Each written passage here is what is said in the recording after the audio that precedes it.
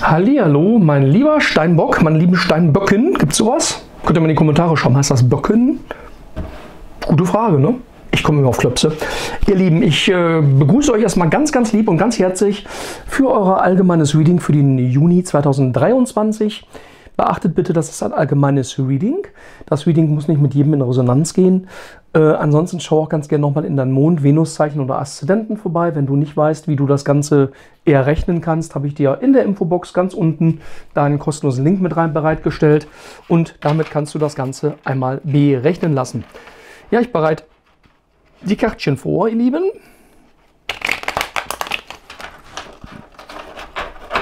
Und wir schauen mal, welche Energien das Universum die Geistesführer für euch mitgebracht haben. Ja, ich nutze übrigens das Golden Folie Tarot Deck. Und wir Lucky, Lucky, Lucky, was die Karten denn hier so sagen. Welche Energien hier so zum Vorschein kommen, ihr Lieben. Ich ziehe zunächst fünf Kärtchen. Fünf Karten für meine lieben Steinböcke fünf Kärtchen. So, wir haben hier einmal den Ritter der Münzen, den Hierophanten, zwei der Münzen, vier der, vier der Stäbe und das Ass der Kelch, ihr Lieben. Da ist aber Liebe im Spiel, würde ich mal sagen. Lass uns mal schauen. Ja, der Ritter der Upsala, der Ritter der Münzen Münzenergie im Tarot, wisst ihr, ist immer eine sehr langsame Energie, dafür sehr beständig. Ja, und wie der Ritter der Münzen schon andeutet, du siehst ja, das Pferd ist jetzt nicht im Galopp, es steht noch. Ja, damit steht die Karte immer für Ausdauer und dein Durchhaltevermögen. Ja, es wird was in, in deinem Leben in Stabilität, in Verlässlichkeit kommen und du kannst wirklich gelassen auf Dinge, ja, die Dinge auf dich zukommen lassen, so kann ich es wirklich sagen. Das hat was, kann was mit Finanzen, mit dem Beruf zu tun haben. Also alles, was du konkret erreichen kannst, das wirst du auch erreichen können. Ähm, möglicherweise wird dir auch noch mal jemand mit seinem Rad zur Seite stehen. Ja, und das ist das Element Erde, also Steinbock, Jungfrau, Stier. Ähm, deine eigene Energie, so kann man sagen. Ja? Ähm, man kann auch sagen, ob das jetzt auch in der Liebe sein kann oder im Beruf, aber auf sein Angebot kannst du dich definitiv verlassen, denn der Ritter der Münzen ist selber auch sehr beständig. Er ist kein stürmischer Liebhaber, das darfst du bei ihm definitiv nicht erwarten, aber er weiß, was Treue bedeutet. Ja, ein sehr treuer, treuer ja, Partner, Mensch, Ratschlagsgeber. Und wir haben hier den Hierophanten. Der Hierophant ist ja quasi das, was früher der Papst war.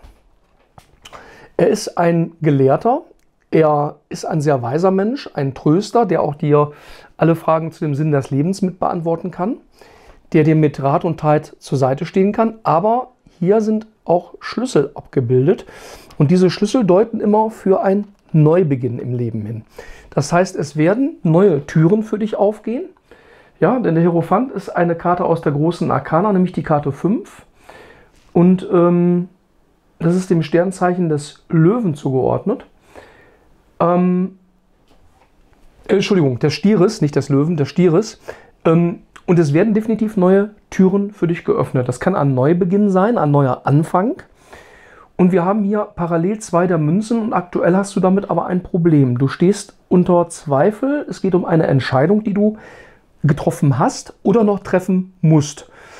Und du bist momentan in einem sehr großen Selbstzweifel, ob du A, eine richtige Entscheidung getroffen hast oder andererseits, dass du die welche Entscheidung du letztlich treffen sollst. Was ist jetzt die richtige Entscheidung in dieser aktuellen Situation? Ja, das stellst du dir die Frage. Vier der Stäbe in Verbindung mit den ersten drei Karten sagen normalerweise immer, es wird alles gut. Du hast einen Grund zum Feiern, so kann man sagen. Du bist definitiv vorangekommen. Du hast etwas ja, geschafft. Du hast etwas aufgebaut, so kann man es auch wiederum sagen. Ähm, aber ja, wenn das Wörtchen aber nicht wäre. Ähm, also bei vier der Stäben kann es sogar zu einer Seelenpartnerschaft kommen, weil die Zahl 22, 44 sind immer Dualseelenzeichen. Ähm, das ist also eine sehr schöne Familienkarte auch. Du kommst mit Menschen zusammen, die dir einfach gut tun. Das ist meistens definitiv die Familie. Und ja, denk auch mal an dich. Ja, das bekomme ich ja auch nochmal rein. Und dann hast du das Ass der Kelche. Ja, und der Liebeskelch, der läuft hier über, der ist hier im Überschuss. Ganz viel Wasser haben wir hier schon. Ähm, ja, wie bei allen Assen geht es hier um Neubeginne. Ja, und dieser, ähm, ja, das ist Ass der Kelche, das kommt jetzt ja schon sehr unerwartet. Da rechnest du definitiv nicht mit. Das kann man definitiv schon mal sagen. Steht für Liebe, für pure Gefühle, neue Emotionen. Ja, das, das ist quasi die Glückskarte, die wie aus dem Nichts kommt. Ja, jemand reichte plötzlich den Liebeskelch und das kann definitiv ein Neubeginn. Ja, und das ist eine Gabe vom Universum, so kannst du, so fühlt sich auch an. Plötzlich sind Gefühle im Überschuss vorhanden. Und zwar hier geht es um die wahre Liebe, um tiefe Gefühle, jetzt nicht um so Porno-Beziehungen. Ja? Also jetzt nicht irgendwie, du lernst jetzt jemanden kennen, wo ein Nightstand, äh, boah, ist ja geil. Sowas nicht, absolut nicht, sondern wahre, wahrhaftige Liebe. Na, ich hoffe, dass du sie schon mal kennenlernen durftest.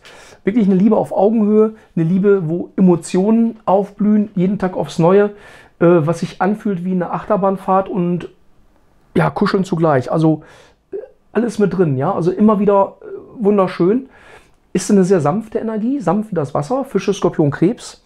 Kann also ein Wasserzeichen sein, mit dem du es hier zu tun hast. Und sehr große Fruchtbarkeit. Also hier kann es auch um das Thema Schwangerschaft gehen. Daher für alle, die das nicht unbedingt wollen, ja, trefft Vorsorge. Ansonsten, die das wollen, ähm, ja, dann, ne, mach mal. Könnte schön werden. Wir haben hier den König der Kelche, 10 der Kelche, die Sonne, wow, die hatten wir gerade auch schon bei dem, das muss ich lügen, Widder, glaube ich. Nee. War das Widder? Ich weiß es nicht. Zweiter, Kel äh, zweiter Stäbe. Und das Wheel of Fortune, Rad des Schicksals. Also ordentlich was los, lieber Steinbock. Ja, bei dem König der Kelche, das weißt du selber, Kelchenergie haben wir gerade schon gehabt. Da geht es immer um Kontrolle der Gefühle aufgeben auch mal Verwundungen zuzulassen. Das ist, geht speziell an deine äh, Adresse. Und zwar das Vertrauen auf seine eigenen Gefühle zu haben. Denn dieser Partner, den du hier kennenlernst, das kann ein Volltreffer werden. Und zwar so ein Volltreffer, dass du in diese Energie kommst. Zehn der Kelche ist die höchste Trumpfkarte bei den Kelchen. Und hier ist alles möglich. Du siehst ja hier, die beiden Verliebten halten sich in den Armen, die sind super glücklich. Ihre Kinder tanzen hier um die beiden rum. Also eine höhere Trumpfkarte als 10 der Kelche give it nicht. Ähm, wenn du in dieser Energie bist, dann hast du quasi alles erreicht, was zu erreichen war. So kann man es definitiv sagen. Ähm, du hast deinen Herzensmensch an deiner Seite und diese Liebe bedeutet tatsächlich, dass ihr füreinander bestimmt seid. Ne? Also die Wörter wie Glück, wunschlose Zufriedenheit, ähm, emotionale Liebe, alles das verkörpert diese Karte und wir sind immer noch im Wasserzeichen. Ähm, ein Fisch, ein Skorpion oder ein Krebs kann es hier für dich sein, lieber Steinbock. Und daneben noch die Sonne. Also besser, das ist echt der, der, der, die, der Wahnsinn in Tüten, sage ich immer dazu. Die Sonne, auch eine Karte aus der großen Arkana und ich meine, ich hatte sie bei dem Widder gehabt. Ich bin mir jetzt nicht sicher. Ich, nee, bei der Jungfrau. Bei der Jungfrau hatte ich das gehabt. Ähm, die Sonne ist auch eine Karte aus der großen Arkana. Ähm, es ist ja Glückskarte schlechthin. Ne? Also die, die Nummer 19, die Sonne, ergänzende Karte für den Löwen. Hier geht es immer um Klarheit und großes Glück. Und das parallel mit einer erfüllten Hoffnung zusammen. Man kann immer sagen, das große Jahr im Tarot. Auch Kinderwunsch hier wieder sehr positiv, genau wie hier. Also da aufpassen, ne? wie mit dem Kelch, den wir vorher hatten. Ähm, das weiße Pferd, das Kind. Kind zeigt immer einen Neubeginn. Ohne Sonne kein Wachstum, ganz viele Sonnenblumen und dieser rote, diese rote Fahne, das bedeutet immer Kraft und Leidenschaft. Ähm, hier geht es immer um Großzügigkeit, den Glanz im Leben und hier definitiv auch das nötige Selbstbewusstsein, was du hast. Du kannst ja ruhig konkret handeln. Ja, das ist ja auch sogar gewollt. Ja, und das Kind symbolisiert immer alles Neue und der Kinderwunsch, der ist hier auch definitiv ganz, ganz groß und da. Ja, zwei der Stäbe, Element Feuer. Bei zwei der Stäben, da bist du noch so am Überlegen, welche Entscheidung soll ich denn jetzt treffen, was tut mir gut, was nicht. Eigentlich hast du die Entscheidung schon getroffen, weil du hast diesen Stab fest in der Hand, den anderen hast du schon den Rücken zugekehrt. Und hier ist nochmal so diese Weltkugel. Das bedeutet, dass du nochmal abcheckst, wer ist da in mein Leben gekommen, was bedeutet das für mich, was habe ich davon. Ja? Und du überlegst noch, ob du diesen Landweg gehst hier außenrum oder ob du das Meer der Gefühle betrittst. Ja, und du stehst jetzt noch in deiner Komfortzone. Das ist ja hier so dieser Palast oder wo dieser Mensch steht oder im sicheren Hafen. Ähm, ich sage immer so, Schiffe sind nicht für äh, Häfen gebaut, die sind fürs Meer gebaut, zum Reisen gebaut. Trau dich. Du hast längst diese Entscheidung schon getroffen. Und wenn dazu irgendwas noch nötig ist, wenn du noch in einer Beziehung versteckst, wenn du noch in jemanden abhängig bist, das Rad des Schicksals. Auch eine Karte aus der großen Arkana, das ist die Karte Nummer 10. Das ist eine ergänzende Karte für, das muss ich mal ganz kurz überlegen, das ist die ergänzende Karte für den Schützen. Genau, für, das, für den Schützen war es. Ja, es ist hier das Rad des Lebens, sage ich immer. Es dreht sich, solange wie wir leben. Und das ist das gleiche wie mit einem Fluss. Ne? Das Leben ist im Fluss. Ähm, der Fluss deines Lebens fließt Wasser, mal weniger, mal mehr. Mal hat er einen Seitenarm, mal trocknet er fast aus, aber er ist immer im Fluss. Und wenn das Rad des Schicksals kommt, dann äh, will das Rad des Schicksals dir einfach sagen, das Universum hat etwas entschieden und hat quasi ein schicksalshaftes Ereignis dir geschickt. Man konnte auch sagen, das musste passieren, damit du über eine gewisse Situation in Klarheit kommst. Sonst würdest du da nicht rauskommen. Und das ist vom Universum so gewollt. Und wenn du hier mal schaust, hier haben wir das Wort einmal Taro. Und wenn du das Wort rückwärts auf Lateinisch, auch das Wort Rota. Rota bedeutet dreh dich, bleibe in Bewegung. Leben ist nie Stillstand. Leben ist Bewegung, Leben ist Vorwärtsdrängen.